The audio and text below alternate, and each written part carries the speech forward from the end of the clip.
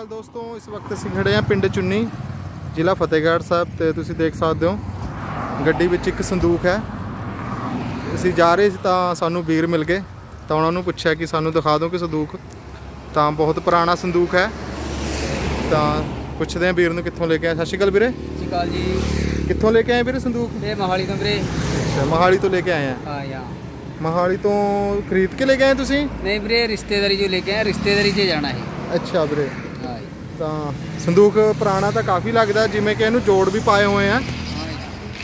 ਹਾਂ ਜੀ ਕੀਤੀ ਹੋਈ ਹੈ ਨਾ ਵੀਰੇ? ਦੇਖੋ, ਜੋੜ ਵੀ ਲਾਏ ਹੋਏ ਨੇ। ਕਾਫੀ ਪੁਰਾਣਾ ਸੰਦੂਕ ਹੈ। ਰਿਸ਼ਤੇਦਾਰੀ ਮਾ ਤਾਂ ਰਿਸ਼ਤੇਦਾਰੀ ਮੈਂ ਹੀ ਜਾ ਰਿਹਾ। ਮਤਲਬ ਵੇਚਿਆ ਨਹੀਂ ਹੈ। ਸਾਂਭ ਕੇ ਰੱਖਿਆ ਹੋਇਆ। ਠੀਕ ਹੈ। ਦੇਖ ਸਕਦੇ ਹੋ। ਮੂਰੇ ਤੇ ਵੀ ਦੇਖ ਸਕਦੇ ਹੋ। 91 ਸੈਕਟਰ ਤੋਂ ਆਇਆ ਜੀ। ਗੱਡੀ ਨੂੰ 91 ਸੈਕਟਰ ਤੋਂ ਆਇਆ ਕਹਿੰਦੇ, ਮੋਹਾਲੀ 91 ਸੈਕਟਰ ਤੋਂ। ਵੀਰ ਲੈ ਕੇ ਆਏ ਆ। ਦੇਖੋ ਜੀ ਸੰਦੂਕ।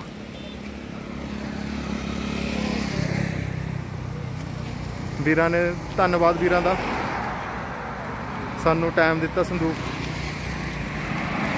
ਜੋੜ ਦੇਖੋ ਪਾਏ ਹੋਏ ਆ ਕਿ ਸਾਂਭ ਸਾਂਭ ਕੇ ਰੱਖਿਆ ਹੋਇਆ ਹੈ ਜੀ। ਇੱਥੋਂ ਤਰੇੜ ਆਉਣ ਲੱਗੀ ਹੋਣੀ ਤਾਂ ਜੋੜ ਲਾ ਲਿੱਤੇ। ਪਾਲਸ ਵੀ ਕਰਾਈ ਹੋਈ ਹੈ। ਠੀਕ ਹੈ ਵੀਰੇ ਧੰਨਵਾਦ ਤੁਹਾਡਾ।